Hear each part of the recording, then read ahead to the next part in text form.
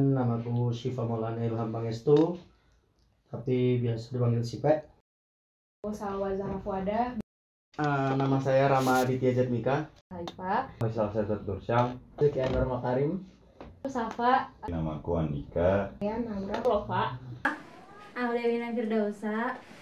Menurut lu menjaga kesehatan mental itu penting nggak? Eh, dalam moderasi itu penting. penting banget Penting. Iya. Penting. Penting banget sih. Penting dong. Penting banget. penting Menurut aku penting. Penting. Menurutku penting banget. Penting banget sih. Kenapa tuh? Yang terlalu fokus sama kesehatan fisik sampai lupa kesehatan mental. Tapi banyak juga yang apa terlalu mentingin kesehatan mental sampai eh, kehidupan di apa ya kehidupan fisiknya, kehidupan materialnya itu terbengkalai seperti itu. Ya, kesehatan mental itu pasti berpengaruh ke pikiran Karena eh, kalau kita apa eh, ngejaga kesehatan mental kita eh, ya everyday itu kita bakal ngelakuinnya baik gitu loh sih nggak ada permasalahan kalau kita ngejaga gitu paham gak sih iya Paham, paham, paham. Kami semua memahami Paham. Kami pihakmu. Lu? Ma- masuk gak sih? Iya masuk masuk paham. iya kan? Paham kan? Bener bener. Paham nggak paham? Penonton di rumah insya Allah paham. yaudah lanjut aja deh. Eh, kita sekarang ya dari sekarang kebanyakan itu orang tua orang tua kita tuh zaman dulu tuh nggak aware sama ginian gitu loh Sama ginian. sama kesehatan mental maksudnya. Pasti tuntutannya ke anak kamu dokter. Iya. atau kamu apa? gitu. Padahal kan nggak tahu anaknya kan nggak sepintar itu gitu loh. Enggak sih. ya. Jadi kan jangan jujur jujur. Iya jujur aja gitu loh. Maksudnya kan giliran soalnya kan kalau gue sering ya soalnya kan ngadu bacot gitu mau bokap. Terus kayak pasti kalah gitu loh. Sih ya udah gitu ya udah. Penting penting penting banget karena apa ya eh, aku kayak bersyukur banget sih eh, teman-teman sekarang maksudnya masyarakat sekarang tuh dia pada lebih melek mental gitu loh daripada dulu-dulu kan kayak misalkan nih eh, depresi dibilang tabu kayak anxiety dibilang kesurupan dan sebagainya. Kalau sekarang kan kalau sekarang kayak apa ya eh, orang-orang udah pada tahu lah at least basic-basicnya sebenarnya eh, orang-orang kena mental health itu eh, ciri-cirinya kayak gimana sih? Dan itu menurut aku udah suatu kemajuan yang eh, bagus banget buat masyarakat Indonesia juga lebih tepatnya. Keren keren. gitu. Karena apa ya sebenarnya mental health itu di apa ya di hidup kita tuh nggak bisa dikesampingan gitu loh. Karena itu akan seiring berjalannya hidup kita gitu loh harus seirama sama kehidupan asli kita gitu. Kan mental health kita tuh kita sendiri yang bakal ngerti. Tapi kalau hubungan uh, kepada orang-orang lain itu ya mereka juga apa ya kayak kita sama mereka tuh harus bersinkronisasi gitu nah gimana kita mau sinkronisasi sama manusia lain kalau misal diri kita dalam diri kita aja belum sinkron mentalnya kayak gitu gitu sih Penting aja. Ah, alasannya apa? Segala sesuatu pasti ada alasannya mak. Karena Kecuali cinta gak sih? Cinta tuh gak beralasan banget sih. gimana sih reporternya kesehatan mental tuh penting bagi saya juga penting. Kok jadi banget? Iya udah. Ya Bagi aku kes- menjaga kesehatan mental juga penting soalnya kita sebagai mahasiswa tentunya harus pintar-pintar buat jaga mental. Soalnya kalau misalnya kita nggak bisa jaga mental, bisa-bisa kita kita kena mental soalnya. gue pikir dulu kali ya Oh. Soalnya eh, gimana pun juga kita kan gimana ya kayak mental itu kan mempengaruhi kita dalam bersosialisasi kan Iya, kayak benar. misalkan kita sehari-hari nih kayak misalkan kita jadi tuh kayak mempengaruhi mood kita sendiri gitu jadi ya penting lah penting lah gitu intinya. Penting lah.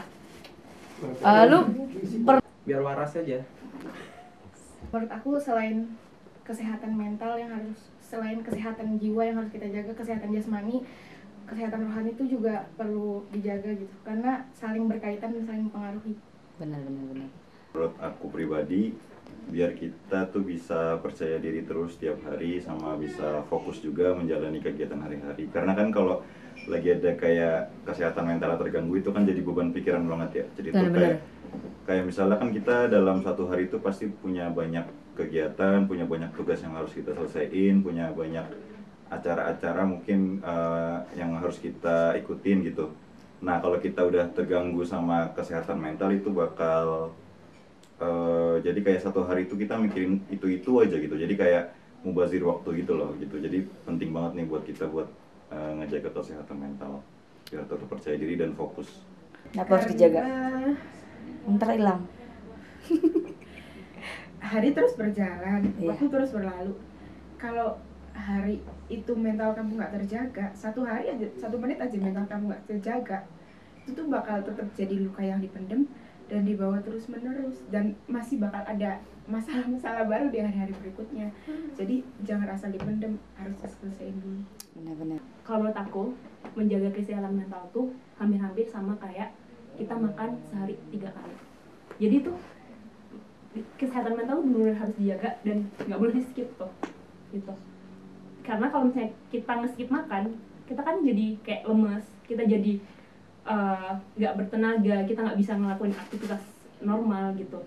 Dan menurut aku menjaga kesehatan mental itu juga hampir-hampir sama kayak gitu. Sama, kayak kita makan tiga kali sehari. Kita harus menjaga itu dan apa ya harus firm. Harus yang eh, dalam kondisi yang bagus tuh kesehatan mental kita gitu.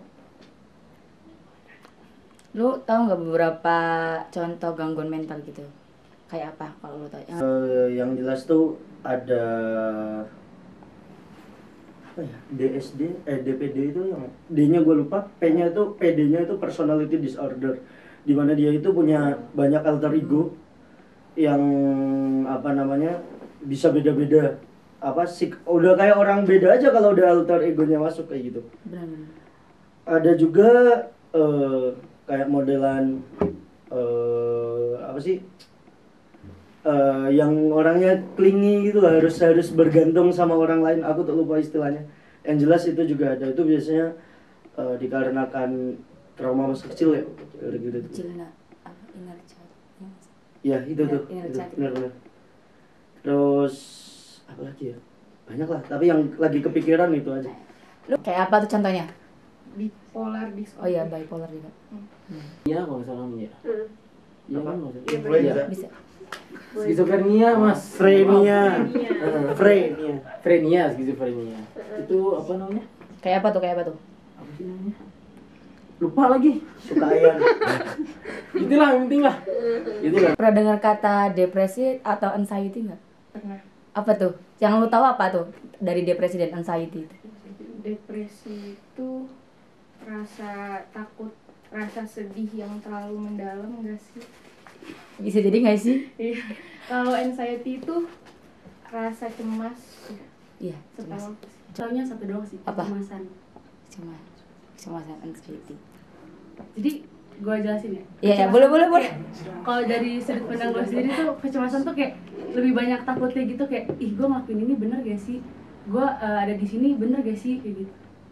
itu ya ngomongin mental juga ya teman-teman menurut saya depresi itu adalah orang-orang yang nggak percaya eh, bahwa dirinya mampu menyelesaikan apa yang ada di depannya menurut saya orang-orang yang nggak bisa menyelesaikan sesuatu yang nggak percaya akan dirinya mampu menyelesaikan hal itu itu menurut saya depresi Kalau misalnya ada temen lu nih datang ke lu lagi depresi atau lagi anxiety, lu biasanya ngapain ke dia?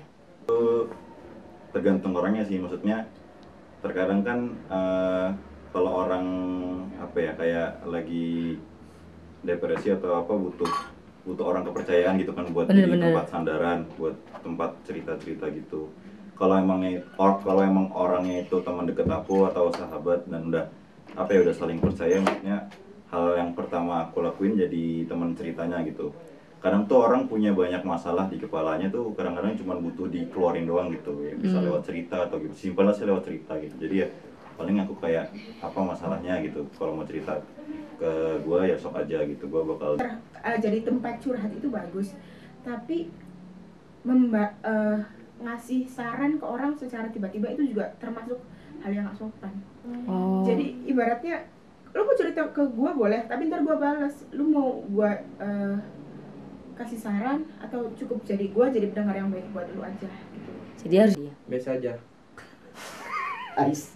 Kan temen lu. Kan dia temen lu. Ya, saya tahu saya cuma yang tahu kan dirinya sendiri. Mungkin saya cuma oh mau curhat ya silakan curhat ke saya saya dengerin. Terus Nah, gitu loh. sesuatu menurut saya ya saya sebagai temannya itu cuma sebagai center aja teman-teman. Sesuatu itu kamu cari sendiri. Saya hanya menerangi sesuatu itu cari ca- kamu cari tahu sendiri gitu. Aku akan berusaha untuk ngedengerin sih. Karena pertama aku ketika ada orang yang depresi atau curhat eh, ke aku aku ngerasa bahwa aku pernah ada di momennya dia. Hmm. yang sebenarnya eh, aku bisa aja apa maksudnya dia butuh tempat untuk ngobrol tuh Mm. gitu. Dan sedangkan eh, mungkin bisa jadi nggak ada orang lain yang tepat yang selain aku gitu. Bisa aja Allah turunin aku buat eh, ngedengerin ceritanya anak itu gitu tergantung orangnya gitu Bener-bener. ada orang yang lagi depresi dia butuh teman ada orang yang Hmm. lagi depresi butuh ruang sendiri Iya. jadi eh, pertama kan kita sebagai teman tahu kalau misalnya dia depresi itu butuh Apa teman gitu ya? buat di samping dia butuh orang yang meluk dia atau dibiarkan sendiri dulu gitu jadi Hmm. Ya, mungkin kalau misalkan dia masih dalam keadaan stres atau enggak masih bisa diajak komunikasi mungkin aku sering-sering komunikasi sama dia gitu. Sering ajak bicara dan nganggap dia eh, sebagai teman-teman dekat. Yang penting kita bisa apa tuh ber, berkomunikasi terus sama dia. Biar dia enggak biar kesehatan biar kita bisa ngelatih lagi kesehatan kesehatan. Tergantung ya maksudnya udah gizinya ini gimana? Kalau emang udah di diagnos sama dokter atau udah meresahkan keluarga atau meresahkan orang-orang terdekat bawa ke RSJ lah. Maksud apa yang lakuin ke dia gitu? Kadang tuh gue orangnya kayak nggak pernah mau ikut campur masalah orang ya. Cuman kalau misalnya orang itu kayak "Eh, Saf gue mau cerita nih gitu. Oh yaudah cerita aja gitu. Gue bakal ngelakuin eh, hal yang sebisa gue gue bisa ngasih ke dia gitu. Kayak misalkan dia pengen kayak temenin gue yuk jalan-jalan gitu gue temenin gitu. Karena gue sering banget punya teman yang bener-bener teman gue sendiri itu tuh eh, banyak depresinya gitu. Jadi teman gue tuh orangnya bahagia-bahagia semua gitu. Cuman di balik bahagia mereka tuh ada kesedihan yang mereka tanam dalam diri dia gitu. Entah masalah pribadi dia atau masalah yang emang kalian tuh tahu gitu. Lu pernah overthinking nggak? Aku apain ya? Kalau aku sih lebih ke ini ya belakangan ini aku overthinking tuh masalah ders gitu-gitu. Sama Brody kalau sekarang alhamdulillah nggak ada sih. Keren. alhamdulillah apa namanya eh, udah makin membaik sih.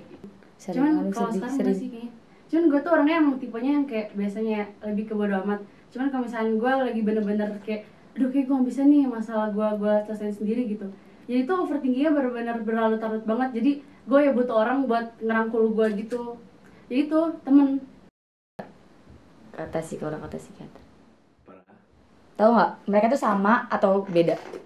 Psikolog tuh keadaannya psikiater tuh eh, mungkin orangnya ya nggak tahu. Emang iya ya dua hal yang beda tapi tapi lu nggak tahu bedanya apa? jurusnya sama.